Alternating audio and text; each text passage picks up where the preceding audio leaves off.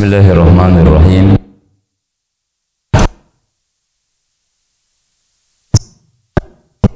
الله وبركاته. الحمد لله رب العالمين. حمدا كثيرا طيبا مباركا فيه. يا ربنا لك الحمد ولك الشكر ولك المن والفضل كما ينبغي لجلال وجهه الكريم وعظيم سلطانه.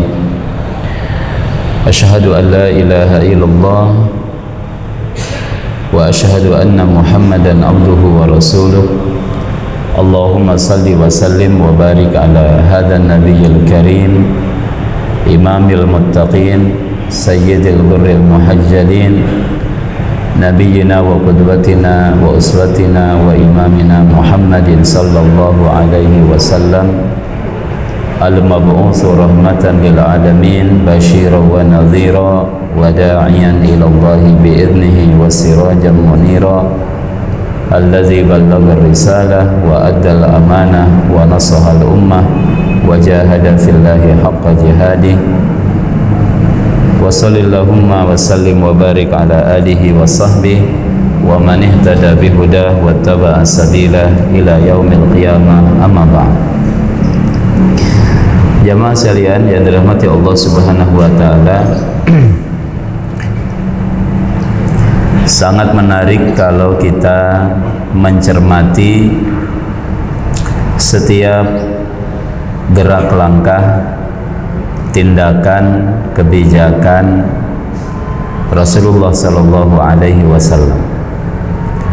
Bahkan sikap diamnya pun sekalipun, sikap diamnya sekalipun terkandung hikmah yang sangat dalam pada diri Rasulullah Sallallahu Alaihi Wasallam. Siang ini kita belajar membaca satu riwayat bagaimana Nabi Sallallahu Alaihi Wasallam berkomunikasi dalam dakwahnya kepada satu sosok yang bernama Sumamah bin Usal radhiyallahu anhu. Jamaah sekalian dirahmati Allah Subhanahu wa taala. Sumama ibn Usal radhiyallahu an dia termasuk salah seorang pembesar tokoh masyarakat dari Yamamah atau lebih tepatnya beliau dari kabilah kabilah Bani Hanifah. Kabilah Bani Hanifah ini kemudian menempati satu wilayah yang disebut Al-Yamamah. Satu tempat antara Mekah dan Yaman di Al-Yamamah itu nanti dalam riwayat dalam sejarahnya kita mengenal ada sosok nabi palsu. Ya ada nabi palsu dari Al-Yamamah yang diperangi pada zaman Abu Bakar As-Siddiq radhiyallahu an Musailamatu Al-Kazzab. Musailamah Al-Kazzab si pembohong. Bani Hanifah Qabilah Bani Hanifah ini jamaah sekalian lumbungnya gandum. Dia lumbungnya gandum. Dari sinilah orang-orang Mekah kemudian beberapa wilayah di Jazirah Arabia itu mendapatkan pasokan gandumnya dari Al-Yamamah dari Bani Hanifah nah sementara Sumamah bin Usal adalah tokoh besar dari Yamamah tersebut dari Bani Hanifah itu. Dalam berbagai riwayat Imam Bukhari, Imam Muslim ini yang saya kutipkan riwayat dari Imam Ahmad tapi bersumber nantinya kepada sahabat Abu Hurairah radhiyallahu anhu. Kata Abu Hurairah ya ba'asa Rasulullah sallallahu alaihi wasallam khailan kibala Najdin Rasulullah mengutus ekspedisi pasukan berkuda ke arah wilayah Najd. Dalam Fathul Bari, Imam uh, Ibnu Hajar Al Asqalani beliau menyebutkan ada riwayat yang mengatakan itu terjadi pada tahun ke-9 Hijriah.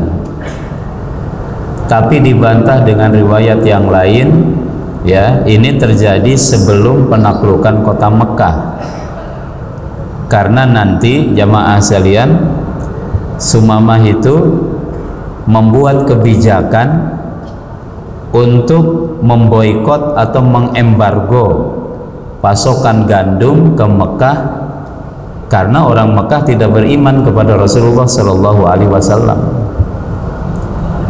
Kemudian penduduk Mekah berkirim surat kepada Nabi Shallallahu Alaihi Wasallam agar melobi Thumamah untuk kembali lagi membuka keran impor, nah gitu ya, supaya Bani Hanifah mengekspor kembali gandumnya ke kota Mekah, karena penduduk Mekah mengalami krisis pangan karena pasokan gandum dari Bani Hanifah dari Yamamah di stop oleh Sumamah bin Usal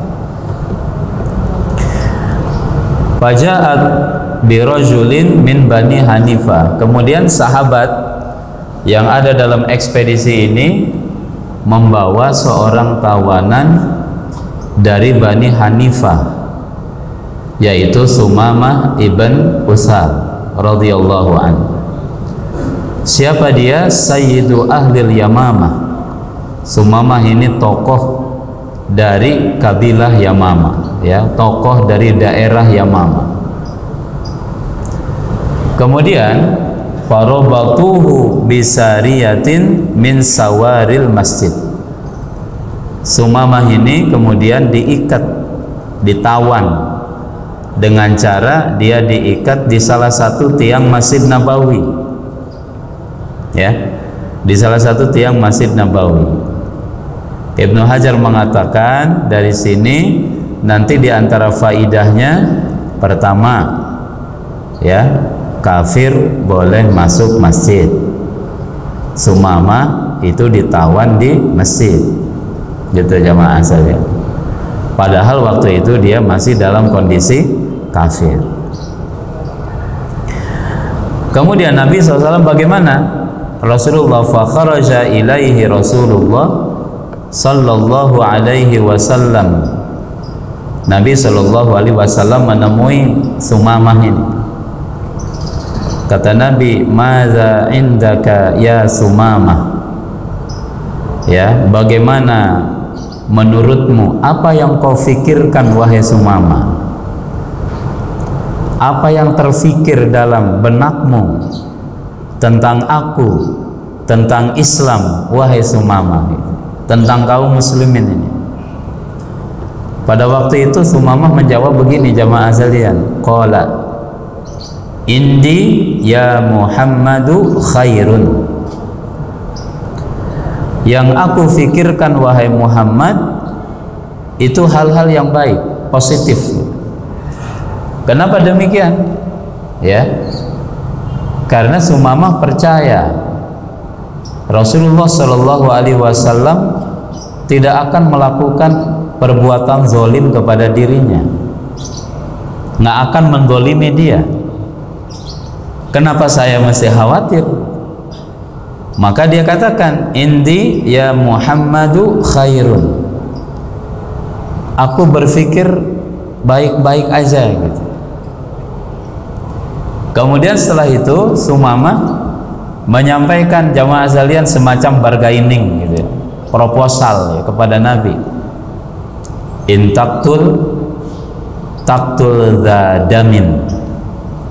Wahai Muhammad, jika engkau hendak membunuhku ya maka taktul zadamin sungguh engkau telah membunuh seseorang yang pengikutnya banyak. Dadamin ini ada dua makna kata Imam Ibnu Hajar al Asqalani jamaah zalian makna yang pertama Sumamah sampaikan kepada Nabi kalau engkau membunuhku kalau aku dibunuh jangan berpikir tidak ada yang nuntut balas. Aku ini punya pengikut aku ini tokoh masyarakat di Yamamah. Ada bahasa sekarang mungkin ada ada rakyat ada konstituen yang akan nanti menuntut balas. Artinya kamu berpikir ulang deh kalau mau membunuhku gitu. kemudian juga ada riwayat yang mengatakan ya za damin itu bukan pakai dal tapi pakai za. Za damin memnya pakai syiddah. Itu maknanya lain. Kata Ibnu Hajar. Maksudnya kalau dibaca za damin artinya apa? Dari kata zimmah. Ya jaminan. Artinya jamaah azali yang dirahmati Allah subhanahu wa ta'ala sama juga jangan macem-macem gitu ya jangan macem-macem aku ini bukan orang sembarangan. Kalau aku terbunuh akan ada kaum yang akan menuntut balas atas pembunuhanku itu.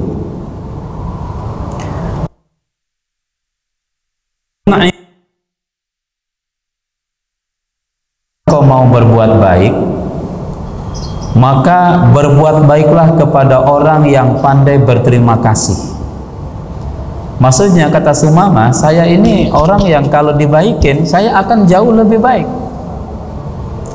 Kalau saya dibaikin saya juga orang baik. Za syakirin ala syakirin. Saya termasuk orang yang syakir. Orang yang pandai berterima kasih atas kebaikan orang lain. Yang ketiga kata Sumama wa in kunta turidul mala fasal. Tu'ta minhu ma Jika engkau menginginkan harta e, tebusan sebut aja jumlahnya mau berapa katanya gitu. Ya, pasal sebutkan jumlahnya mau berapa. Ibaratnya kalau bahasa kita sumama ngasih cek kosong jamaah sekalian. Nih tulis sendiri ceknya gitu. Kenapa? Dia uh, ketua kabilah ya. Kemudian kampung halamannya lumbung gandum uangnya banyak jamaah sekalian. Maka dia menawarkan kepada Nabi Shallallahu Alaihi Wasallam in kunta turidul kalau saya supaya bebas ini mesti ditebus dengan sekian nilai harta pasal tu'ta minhu ma kamu sebut aja mau berapa akan aku berikan sesuai dengan keinginanmu. Ya sesuai dengan sesukamu mau berapa gitu. Masya Allah. Jadi Sumamah ini bukan orang sembarangan. Menghadapi ini jamaah azali yang dirahmati Allah subhanahu wa ta'ala Rasul sallallahu alaihi wasallam tidak memberikan tanggapan. Ya udah dibiarin sama Nabi sallallahu alaihi wasallam. Dalam riwayat yang lain jamaah sekalian, Sumamah ini diperlakukan dengan baik. Makanan yang ada yang biasa dinikmati oleh Nabi dan keluarga dan Nabi nggak habis. Porsi yang sama dikasih kepada Sumamah dan habis. Ya. Porsi yang sama diberikan kepada Sumamah habis dia. Tapi nanti ketika Sumamah sudah masuk Islam, kemudian Sumamah disuguhkan, disuguhin makanan dengan porsi yang kemarin, dia cuma makan sedikit. Kemudian ditanya kepada Nabi SAW, kok begitu ya Rasulullah? Kata Nabi Wasallam, Innal mu'mina ya'kulu innal kafira yakulu fi sab'ati am'ain kalau orang kafir kata Nabi makannya ya makannya perutnya tujuh lambungnya tujuh kata Nabi. Wallahu alam jamaah sekalian. Tapi wa innal mu'min yakulu fi ma'in wahidin. Tapi kalau mukmin dia cuman punya satu lambung. Kalau kafir tujuh lambung kata Nabi oh pantesan kemarin dikasih porsi makanan yang biasa untuk Nabi dan keluarga habis sama semama sendirian. Tapi setelah dia beriman setelah dia masuk Islam porsi makannya turun jamaah sekalian. Ya. Ini jamaah porsi makannya yang mana nih? Suka nambah apa enggak? Nah mukmin itu ada lagi hadis Nabi mengatakan ya kata Rasul sallallahu alaihi wasallam ta'amul wahid yakfisnen satu porsi cukup untuk dua orang. Wa ta'amul isnen yakfis salasa dua porsi ya. Itu cukup untuk empat orang untuk tiga orang dan seterusnya gitu. Bahasanya tuh kalau mukmin mah nggak gembul gitu ya. Maka Nabi juga mengatakan demikian kepada kita kan. Posisikan perut itu bagi tiga tiga bagian. Sulusun li ta'amihi wa sulusun li syarabihi wa sulusun li nafsihi. Ya nafas. Sepertiga makanan sepertiga minum kemudian sepertiga lagi ya berikan ruang supaya nggak kekenyangan nafas normal dan lain sebagainya. Masya Allah. Ini semua masalah masuk Islam berubah jemaah sekalian Jangan sampai kita semakin apa namanya senior dalam Islam ini makan semakin banyak, tapi ibadahnya semakin sedikit. Nah, jangan begitu ya. Hari kedua, hari ketiga sama jemaah saja. Nabi nanya kepada Sumama, "Ma indaka ya Sumama? Bagaimana? Apa yang kau pikirkan wahai Sumama?" Dalam riwayat Bukhari, jamaah sekalian, ya, hari kedua Sumamah itu tidak lagi tanda petik ngancem. Tidak lagi mengatakan wa in taktul zadamin kalau engkau mau bunuh bunuhlah ab. Kalau engkau membunuhku ingat aku ini orang yang banyak pengikut. Nggak lagi ngomong itu dalam riwayat Imam Bukhari. Kenapa? Di hari pertama itu sudah disampaikan dan ternyata dia baik-baik aja Oh berarti saya tidak ada ancaman untuk dibunuh. Maka di hari kedua Sumamah itu cuma mengatakan intun imtun im ala syakirin. Kalau engkau berbuat baik, maka aku adalah orang yang pandai berterima kasih. Kalau engkau menginginkan harta agar aku agar aku bisa bebas, sebutkan aku mesti kasih berapa, akan aku kasih sesuai dengan yang diminta oleh Nabi Shallallahu Alaihi Wasallam nggak ditanggapi juga di hari kedua nih jamaah sekalian. Hari ketiga juga sama, cuman Sumamah itu cuman mengatakan, yaitu statementnya yang ketiga dalam riwayat Imam Bukhari. Ya kata beliau, wa in kunta turidul mal fasaltu minhu masyi'ta. Kalau engkau menginginkan harta, sebut berapa. Aku kasih sesuai dengan permintaan yang kau inginkan Jamaah sekalian yang dirahmati Allah Subhanahu wa taala nggak ditanggapi oleh Nabi, Pak. Ini juga menjadi bukti kebenaran risalah, ya. Nabi kagak nyari duit. Nabi nggak main proyek, jamaah sekalian. Oh, kebetulan dia dia ngasih cek kosong. Enggak. Rasulullah SAW menginginkan dari setiap orang itu keislaman bagaimana dia dapat hidayah bagaimana dia dapat? Petunjuk dari Allah Subhanahu wa taala. Di hari berikutnya ikhwatal iman kata Nabi sallallahu alaihi wasallam ya intaliqu bisumama. Dalam riwayat yang lain dalam riwayat Bukhari atliqu sumama. Lepasin tuh sumama. Ya lepasin dia. Dalam riwayat yang lain bawa tuh sumama ya bawa keluar gitu ke perkebunan kurma ada air di situ. Dilepasin sumama jamaah sekalian. Dia tidak disakiti dia dijamin makanannya hak asasi manusia kemanusiaannya terjamin.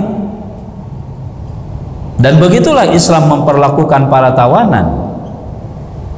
Bahkan tidak diapa-apain Sumamah dibebasin rupanya perlakuan itulah yang membuat Sumamah jatuh hati kepada Rasulullah Shallallahu Alaihi Wasallam. Jamaah sekalian dirahmati Allah, kalau kita lihat sini, Rasul berkomunikasi, ya, seni dakwah Nabi di sini tuh justru dengan diam. Nabi cuma nanya doang, apa yang kau pikirkan? Oh, semua banyak ngomongnya. Udah, tinggalin tuh, kata Rasulullah. Ya, eh, apa namanya? Jamin gitu. Kata Rasulullah kasih servis yang terbaik. Nanti Ibnu Hajar al-Asqalani jamaah azalian beliau memberikan beberapa catatan faidahnya gitu. Kalau orang yang dianggap punya potensi bagus punya pengaruh bagus kalau dia menjadi seorang muslim maka berikan perhatian khusus kepada dia dia seorang tokoh besar, punya pengikut banyak, punya rakyat di belakang. Kalau dia masuk Islam, mungkin punya pengaruh, ya, ada pengaruh, ada apa namanya, ya, dia punya apa itu followernya banyak gitu. Maka perhatikan dengan baik orang-orang seperti itu. Setelah ini fantalaku bihi ila nakhlin qaribin minal masjid. Kemudian Sumamah ini dibawa ke perkebunan kurma dekat masjid dan di situ ada air ya. Salah maka dia pun mandi di situ jamaah sekalian. Summa dakhala al masjid kemudian Sumamah balik lagi ke masjid. Faqala dan Sumamah mengucapkan asyhadu alla ilaha illallah wa asyhadu anna muhammadar rasulullah. Syahadat masuk Islam alhamdulillah. Setelah tiga hari. Jamaah saya yang dirahmati Allah gak diapa-apain sama Nabi itu. Cuman oleh Nabi diikat di masjid pada saat itu Nabi Shallallahu Alaihi Wasallam memberikan kepada Sumamah ruang untuk berpikir, kesempatan untuk murojaah nafsiyah, ya, memikirkan diri. Selama ini dia orang kafir, dia menyembah berhala mungkin orang musyrik. Ketika dia ada di masjid, Sumamah menyaksikan kaum muslimin yang menyembah Allah Subhanahu wa taala dalam sholat lima waktu melihat mereka sujud, mereka ruku, ada pancaran keteduhan dari wajah-wajah kaum muslimin, ada ketenangan jiwa, ketenangan batin dalam dari dalam diri kaum muslimin. Dia tangkap itu jamaah sekalian. Dan Nabi Shallallahu Alaihi Wasallam tidak memaksa Sumama, biarin dia belajar gitu. Dia melakukan mukorona, ya. Dia melakukan komparasi antara keyakinan selama ini dengan apa yang dia saksikan selama tiga hari dari kaum muslimin. Itu yang namanya Islam. Ditambah dengan perlakuan kaum muslimin yang baik. Ditambah juga perlakuan Rasulullah Shallallahu Alaihi Wasallam yang sangat luar biasa. Akhirnya Sumamah masuk Islam dengan tidak dipaksa. Dia ucapkan dua kalimat syahadat atas kesadaran dirinya. Kemudian setelah itu jamaah sekalian dirahmati Allah dia bilang kepada Rasul ya Muhammad wahai Muhammad ya ya maklumlah dia seorang apa namanya bos begitu ya seorang raja gitu di kampung halamannya. Dia merasa setara dengan Rasulullah. Maka bahasanya tuh langsung aja ya Muhammad wahai Muhammad wallahi demi Allah makana ala wajhil ardi abghadha ilayya min wajhika. Selama ini tiada wajah yang paling aku benci di muka bumi ini selain wajahmu. Pokoknya yang paling nyebelin itu wajahmu kata Sumamah itu kepada Rasulullah sallallahu alaihi wasallam faqad asbaha wajhuka ahabbal wujuhi kulliha ilayya tapi sejak hari ini sejak dia masuk Islam maka wajahmu lah wajah yang paling aku cintai dari seluruh wajah yang akan yang ada di muka bumi. Masya Allah jamaah sekalian. Ini kan bagaimana ya dakwah Rasulullah Shallallahu Alaihi Wasallam sehingga merubah mindset orang yang tadinya benci, paling benci menjadi paling cinta. Itu kata semua radhiyallahu anhu. Mungkin juga dari peristiwa ini jamaah sekalian ada pelajarannya apa? Kadang memang orang itu kemakan propaganda tentang Islam yang disebut dengan sehingga ada penyakit yang disebut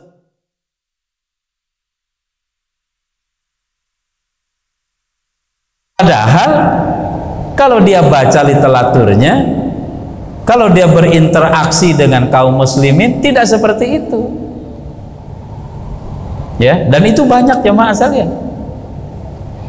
Kena propaganda gitu. Islam dicitrakan begini begitu dan lain sebagainya. Ada politisi Belanda anggota parlemen di sana temannya Great Wilders ya yang benci kepada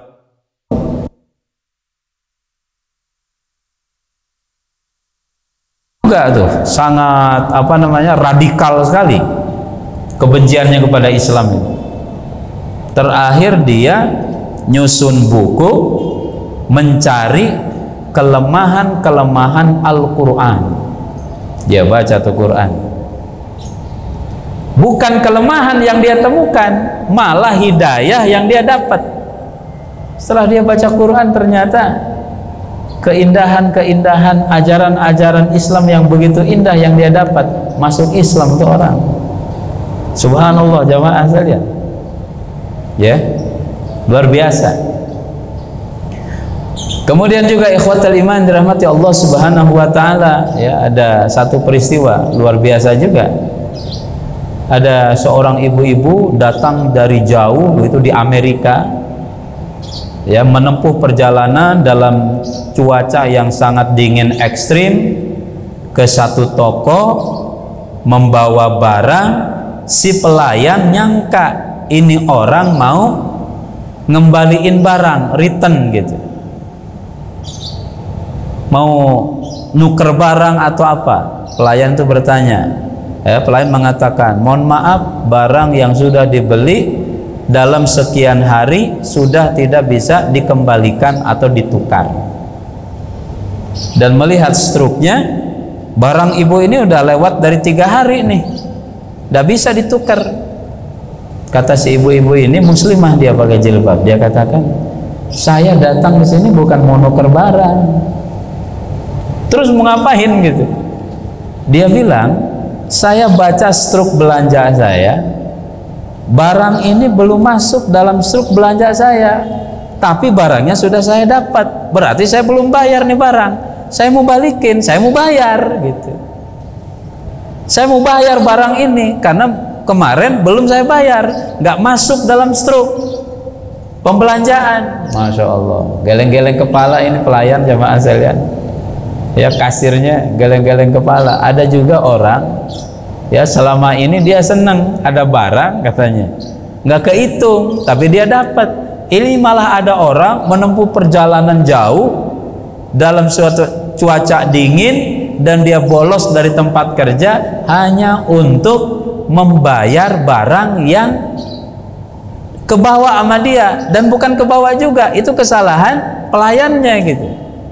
Dimasukkan dalam bawaannya dia padahal belum kebayar. Dia mau bayar. Subhanallah jamaah sekalian akhlak mulia gitu ya.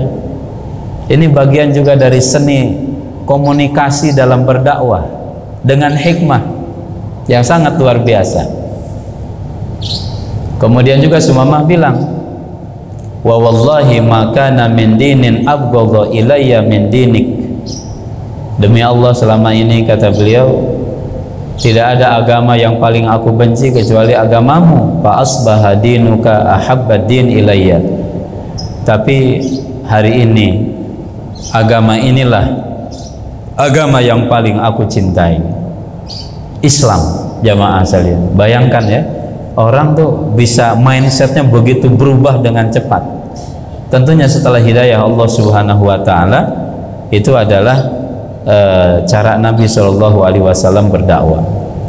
Kemudian juga dia mengatakan wallahi makana min baladin abghadha ilayya min baladika. Tidak ada satu tempat satu kota satu daerah ya yang paling aku benci selama ini kecuali kotamu kota Madinah. Fa asbaha baladuka ahabbal biladi ilayya. Tapi sejak hari ini kotamu adalah kota yang paling aku cintai subhanallah jamaah sekalian ini statement Sumama kemudian setelah itu Sumama bilang wa inna khaylaka akhadatni wa ana uridul umrah famada tara Kata Sumama, pasukanmu itu kemarin menangkapku padahal aku mau berangkat umroh. Nah, sekarang aku udah Islam, bagaimana menurutmu wahai Rasulullah? Karena dia sudah menjadi muslim jamaah sekalian, maka dia minta advice, minta persetujuan dari Nabi Shallallahu alaihi wasallam. Kesombongannya hilang, keangkuhannya hilang, dia minta petunjuk Rasulullah Shallallahu Alaihi Wasallam. Kata kemudian pabasyarahu Rasulullah Shallallahu Alaihi Wasallam wa amarahu tamir Nabi Shallallahu Alaihi Wasallam memberikan kabar gembira kepada dia memberi kabar gembira artinya apa kabar gembira setelah dia masuk Islam maka Rasul katakan dosa-dosamu setelah kau masuk Islam dihapus oleh Allah Subhanahu wa taala. Engkau sekarang mulai dari lembaran putih dari nol ya setelah mengucapkan dua kalimat syahadat. Dalam riwayat juga Rasul memberikan kabar gembira kalau engkau akan dapat surga.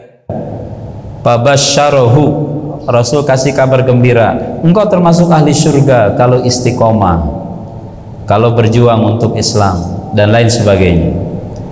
Kemudian juga kata Ibnu Hajar Rasul ngasih kabar gembira dengan apa? Dengan kenikmatan dunia dan akhirat jika dia ketika dia sudah masuk Islam selamat wahai Sumama kebahagiaan dunia dan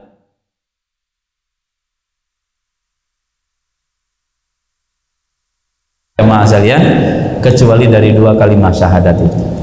Setelah itu Nabi menyuruhnya untuk berangkat umroh. Berangkatlah umroh ini sumamah jamaah sekalian. Falamma qadima makkata qala lahu qailun soba'ta ya ini Mekahnya belum ditaklukkan. Entah tahun ke-7 atau tahun ke-6 gitu tahun ke-7 lah riwayat yang paling banyak itu.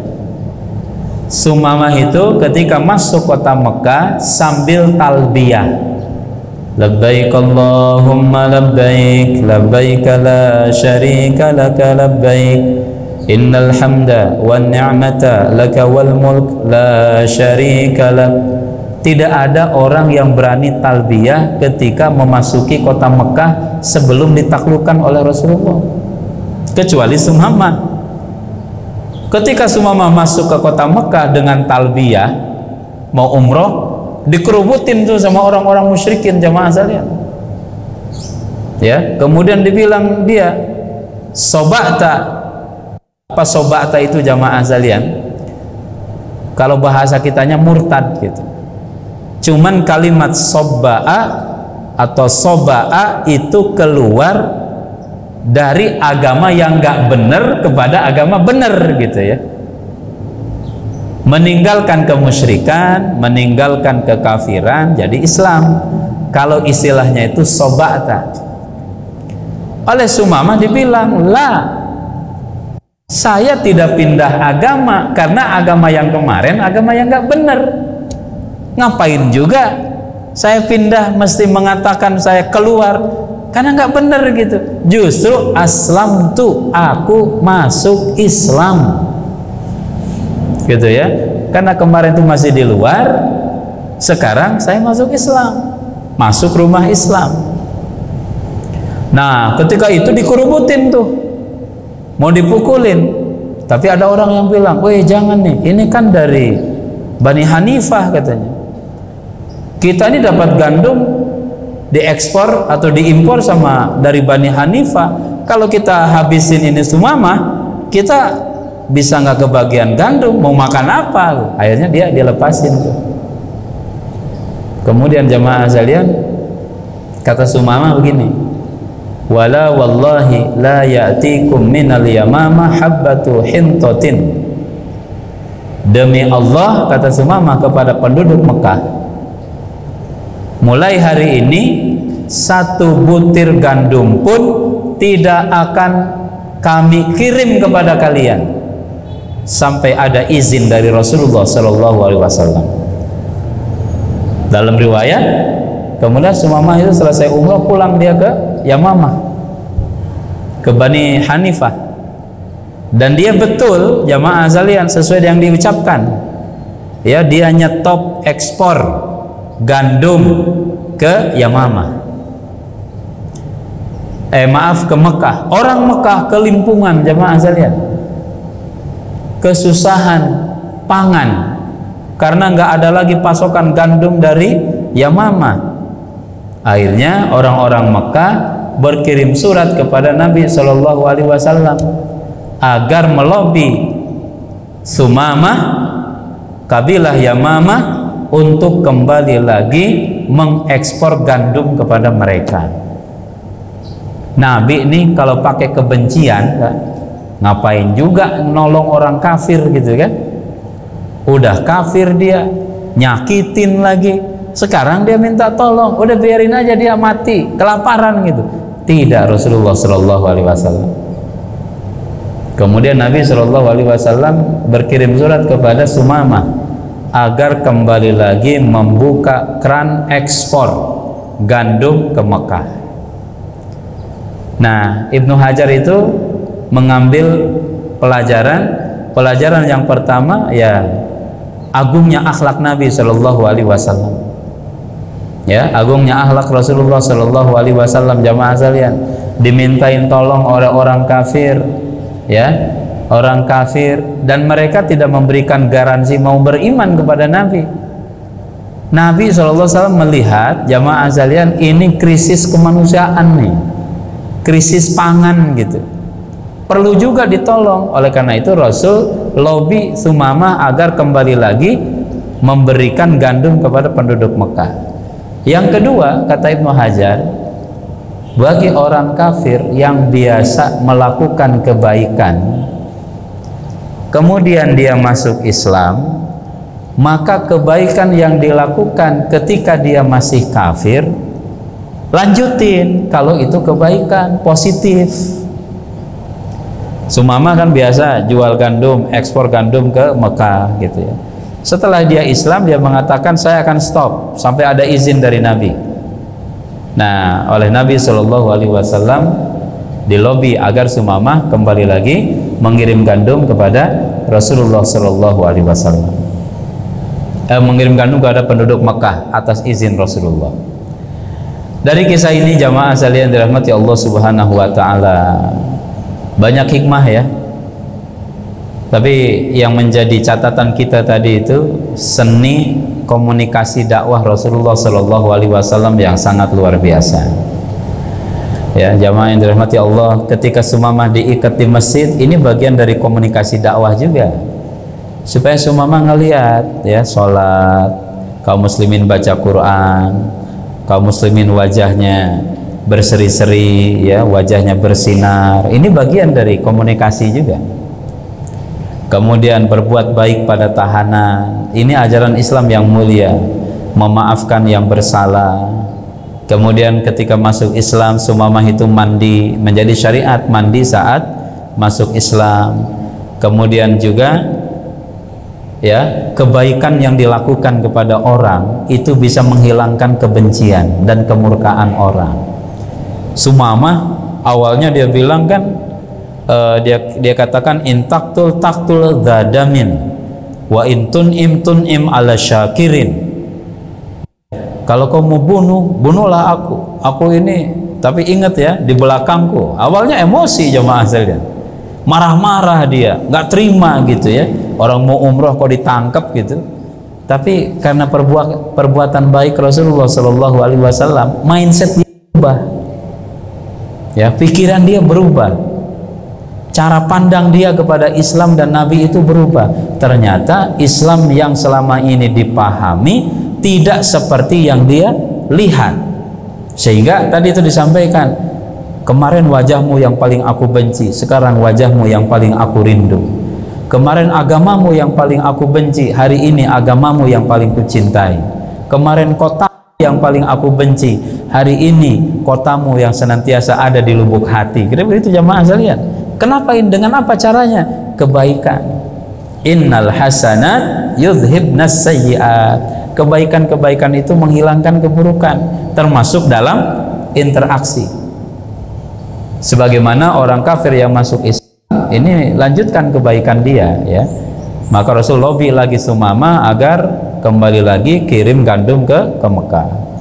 Kemudian juga lemah lembut kepada yang punya potensi masuk Islam dan punya pengaruh besar kalau dia sudah masuk Islam itu harus dilakukan jemaah sekalian karena manusia itu kan ada uh, posisi sosialnya ya dan Rasul Shallallahu Alaihi Wasallam pandai menempatkan orang sesuai dengan kapasitasnya masing-masing. Ya khatibun nas ala qadri ukulihim. Ajak bicara manusia sesuai dengan kapasitasnya masing-masing. Likulli maqamin maqalun wa likulli maqalin maqamun. Setiap tempat ada kata-kata yang pas dan bagi setiap kata-kata ada tempatnya yang pas. Nabi ketika interaksi dengan Sumama tidak seperti interaksi dengan yang lain. Ya, dan Sumama cukup berkesan dengan cara komunikasi Rasulullah Shallallahu alaihi wasallam dan dia akhirnya memeluk Islam wallahu a'lam bissawab. Itu jemaah sekalian dirahmati Allah yang bisa kita sampaikan. Dan nanti kita akan belajar juga dalam ya peristiwa perundingan patung uh, perundingan perundingan sulh Hudaybiyah. Itu juga apa namanya seni ya dakwah yang luar biasa yang dilakukan oleh Nabi. Mudah-mudahan di bulan depan insya Allah akan kita bahas kembali. Demikian mudah-mudahan bermanfaat aku qouli hadza wallahul muwafiq ila aqwamit thariq wallahul hadi ila sabilir rasyad. Wassalamualaikum warahmatullahi wabarakatuh